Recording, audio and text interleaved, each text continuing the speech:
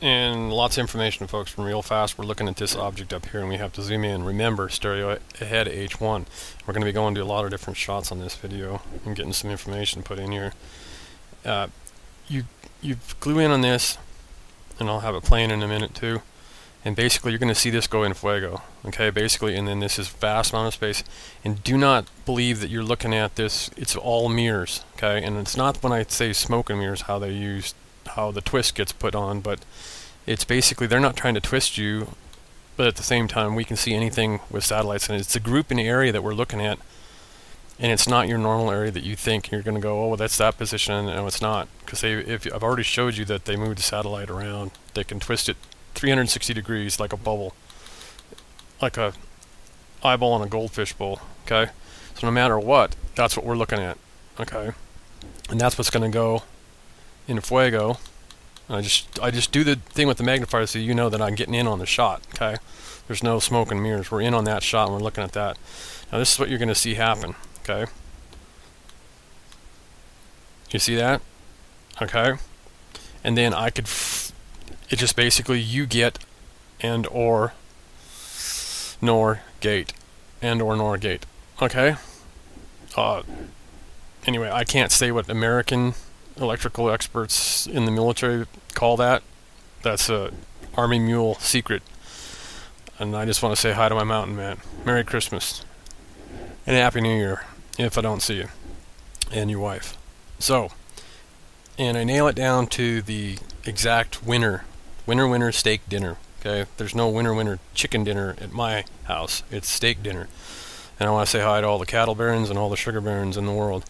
So anyway, uh, this is the sun over here. Okay, and then it does a CME and it's blocked out by the blue highlight. Now I hit the I'll play button, and we'll go along here. Now we're at a different angle. You see, on the sun, 360 degrees with mirrors and you get that there and it's the same object and that's the explosion in the in the captures locked at that and I go up to it and there you go and no it's not a comet it didn't it wasn't a comet going streaking by or anything like that but it was electrical energy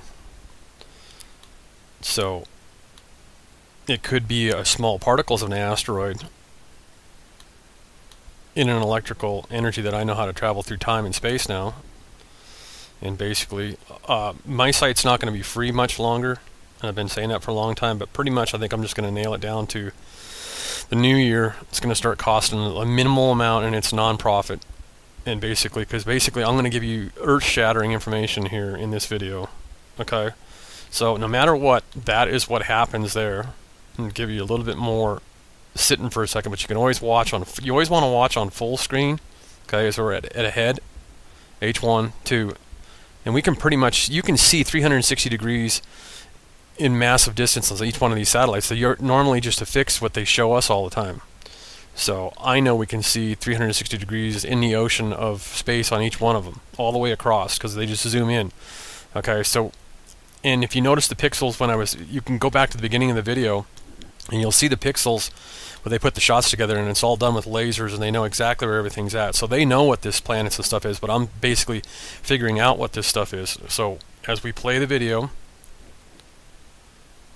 you can see that that basically what blew up. Now this is a different shot, you see, different times. You got to watch the clocks and where the uh, angles are at. Even though if the time matches, the satellite has spun around and, and looked at its shot and so forth and so on. That was farther out, you see. So we zoomed in, you see what I'm saying? And they zoomed in. Okay, and we zoomed in on their zoom in. And they can do that too. Okay? It's not done with smoke and mirrors, it's done with mirrors. And then it's done with uh, software to uh, view 360 degrees okay, in the laser, and they basically nail down where every planet's at. Now that's what we're going to do. As you see, I'm not really. That was my on my recording. See now that's basically I'm going to freeze this. That's the angle that uh, B is looking at. Okay, behind. Now, I believe we started off with. Uh, oh, I don't want to mess up the recording and, uh, and stuff like that we started off with what we wherever I what I showed you. Even if I stated it wrong, We started off with what the shot was saying it was at. Okay. Now we're going to go ahead and hit play and basically uh, and don't worry about X this at all. It's not going to hit Earth. It's, far enough away. The only thing we have to 84 uh, in 2000, uh, 2013 13th through the 16th. That's the only and it's going to be as close as 16,000 miles to Earth. So yes, that's what they're smoking and mirroring on that. That's power and control. Okay, so watch your eight magneticals, and from this angle, we get more from a certain shot, and I'll tell you when we get there. But remember that this was the angle that more than likely that the satellite was sitting at, but it can go 360 degrees, just like that little arrow there and that yellow thing in space. It can look around all over the place and it can see vast. It can zoom in and go all the way across and give us a shot from the absolute up other side of ACE, okay? Because basically that's what behind. This is behind's angle, what it was looking, okay? But it can still go 360 degrees. Now remember, we can see everything 360 degrees, okay? I'm going to pull this back a little bit. You should be able to see Pluto here. If I bring it back, there's Pluto. You can also get Neptune in this on your JP player and everything. So you basically can see, when you play around with the JP player and you can see every planet, we can see the, every planet with the uh, satellites. They, if they want to take and waste the fuel and the energy, they can turn around and look at Mars on the back side of, uh, I don't have JP player up right now, I'm actually working off a video. So what we'll do is we'll move ahead here a little bit and try to, but basically they can go and zoom in. They can zoom all the way across space and look at something behind ACE from the angle of B, which basically this was pretty much the angle of B 360 degrees. You see, they could end up showing you Jupiter on the other side. Okay, so we're going to get way ahead in this video and pull up another video. And you got to remember the heights at certain shots. Okay? And this is the path of the sun here and then that's the sun and this is just a little bit of a descri- of sh showing you the angles that they can sh shoot at and they can do it 360 degrees okay you don't have to worry about Toutatis either every six years it orbits around by Earth and it's not going to hit us okay not for like 179 years or something like that could even get close okay and it's only five kilometers. We have the ability right now that we could destroy it if we had to. I'm surprised we ain't doing a mission to get on it, but then again, we might possibly. And the the XR X37 is going back up, so it'll probably be getting some beautiful shots of it. All right, now basically, as you've seen this from behind H1, I was able on the red to be able to show you that and then you see your magneticals here so we're gonna get I gotta hurry up and get to the other video and combine this together because I knew that uh, you'll be able to back up and go to this or go to JP player and go to Java and you'll be able to get everything that I'm going to show you on the next portion of this video because no matter what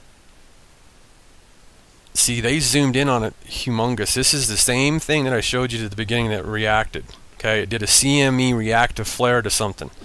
Okay, but as you see, it was stuck. It was something. It's basically the same thing that I zoomed into a long time ago. And I'll, I'll, when I get on the the next video that I do, I will show you my video that I showed you the footage where I found that. And once I found that, then they started doing this stuff to look at that. And then my friends too on the internet, and thank you, and I'm not saying no names, thank you for sending me this video to be able to ch check all this out.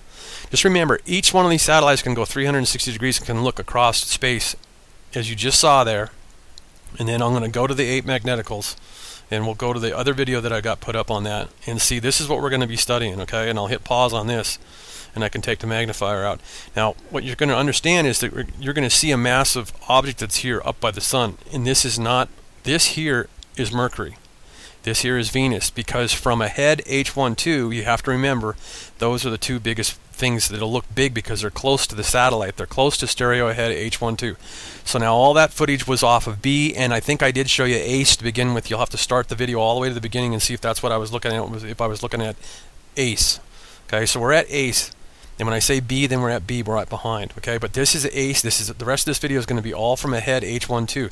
And as you can see, we can count all the magneticals. 1, 2, 3, 4, 5, 6, 7, 8. And no matter what, you're going to have to go to JP Player and you're going to have to realize that the only thing that this could possibly be, it might be Mars. Okay? Maybe Mars, but it's highly unlikely because Mars should be, but it, it, there is a slight possibility that it could be.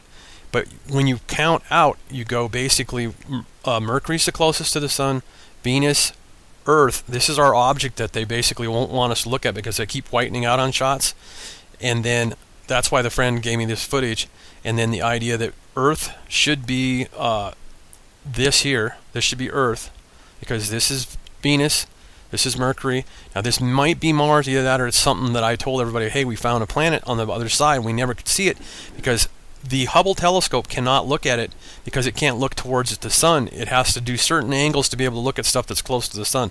The only thing that can look at it is ACE and B, okay? Ahead one and, and B, and then all the cameras that are on both of those satellites, and then we have Spitzer and all that stuff like that. They can look at the sun too and stuff like that, but they have to always wait for certain positions and everything like that. So they compress, use mirrors, and they can see 360 degrees in a bubble of everything. And you see that you got the eight magneticals, okay?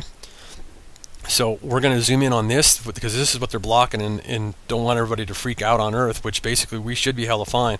More than likely this is ISON or DA14 and it more than likely is ISON, and then ISON is going to get huge, and people are going to be able to pull religious and cultural bullshit and everything like that, saying there's two suns, which more than likely it's just a comet. It's a huge object in space, and as you can see how huge it looks from, it's got everybody concerned, because yes, ladies and gentlemen, this is Earth and the Moon here, and basically I'll zoom in on that really fast since I just have it at this. I can show you, and basically I have to work everything off the magnetic, uh, and basically I'll have to point with the, I'll have to point with the uh, magnifier handle. Now that's the moon out away from Earth. That's a little dark spot to the right of the line. And then hopefully I can get it adjusted here enough to be able to see Earth. And I won't say it's Earth until I get on it. And I have to play around with this. I'm not there yet. I'll tell you when I get on it. And the technology I know that they do not want. It's really they're really fighting with me not to get this out there. Okay, now as you can see the glow, and then that, I'm basically on the magnetical line of Earth, and basically that's the Earth to the right of the end of that uh, magnifying lens, and then the little dark spot that's right up. I'm getting pretty good. It, it, I'm on the left side of the line, but the moon is over there. Okay, either that or that's something else too that's not too far away from Earth. But no matter what, that's Earth's magnetical line that I'm on, and that is basically Earth right there.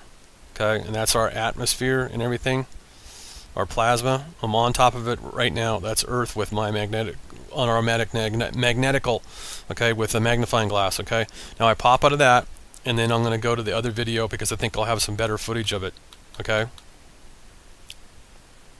Okay, so no matter what, I had my original magnifier on this video is sitting by Venus. Okay, that's Venus. Now, no matter what, this object that we're looking at, that's to the left of this magnifying lens, the big one, that object between us and Earth, which Earth is way over here in the corner, okay, just above the O on on the advertising there, which I don't advertise. They ain't giving me mon any money yet. They're going to do it non-profit if they do. And basically, the sun's over here. You know, the sun is over to the right in the black and then that's our object because that's not just the sun right there ladies and gentlemen. The sun is huge and that's not the sun. Uh, there's a possibility that it might be the sun because it's they're showing you the umbilical so it possibly could be the sun. But then it's the first time we've ever seen the sun like that okay? Now I can't zoom out on this because I have to hit play. But no matter what you can see the pixels okay and Mercury's the one where the uh, big magnifying glass is at. The little magnifying glass is just because I got the magnifier up.